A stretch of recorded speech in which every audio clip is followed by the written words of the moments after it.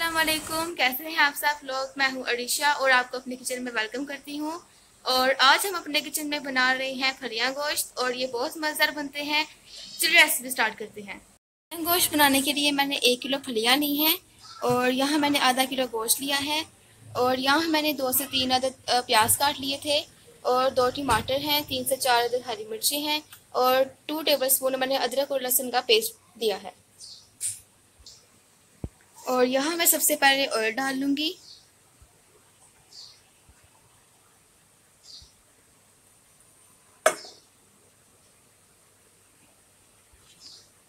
और प्याज को फ्राई करेंगे। अब हम इसको लाइट गोल्डन फ्राई कर लेंगे। अदरक और लहसुन का पेस्ट शामिल कर लेंगे। और इसे अच्छी तरह से भून लेंगे।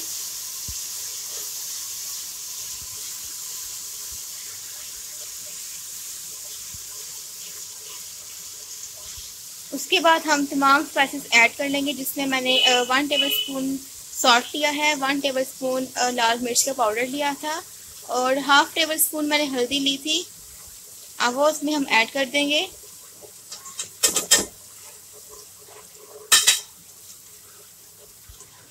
और साथ ही मैंने थोड़ा सा पानी ऐड किया था ताकि मसाला थोड़ा सा जल ना जाए।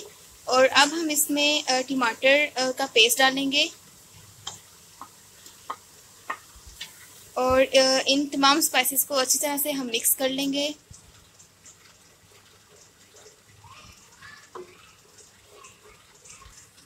अब हम इसमें वन टेबल स्पून सूखा धनिया डालेंगे। और वन टेबल स्पून हम इसमें ज़ीरा ऐड करेंगे।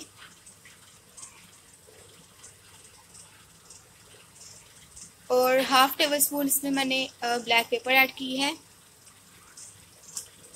एक से दो स्टिक हम दालचीनी की ऐड करेंगे।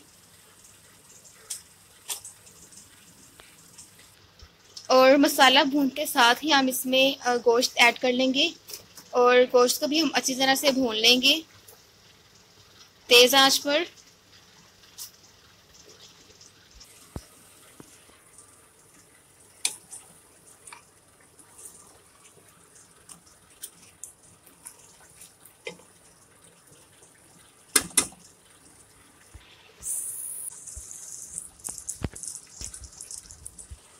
और पाँच मिनट के लिए हम इसे ढक देंगे ताकि अच्छी तरह से पक जाए।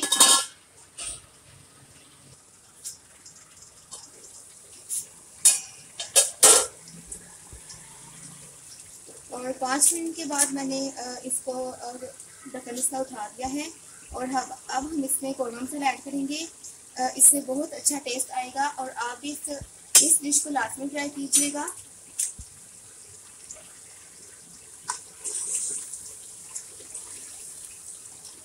आप इसका कलर देखिए कितना प्यारा कलर आया है मसाले का।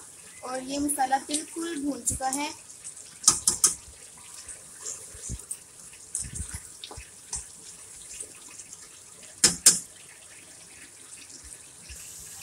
अब मैं इसमें फलियाँ ऐड कर दूँगी।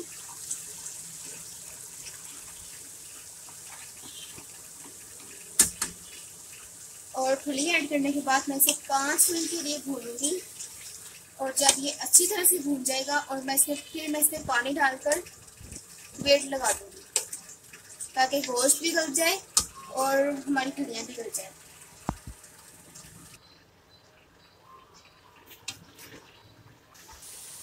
अब हम इसमें पानी ऐड कर लेंगे।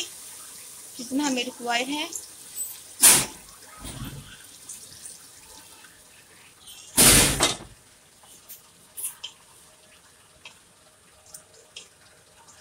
इसको प्रेशर लगा दूँगी।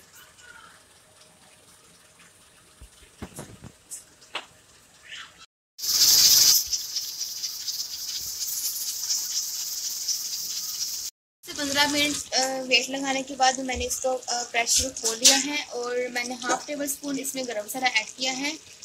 और अब मैं इसको पाँच से दस मिनट के लिए दम दे दूँगी ताकि अच्छी तरह से जो जितना भी पानी है वो सूख जाए और ऑयल इसके ऊपर आ जाए।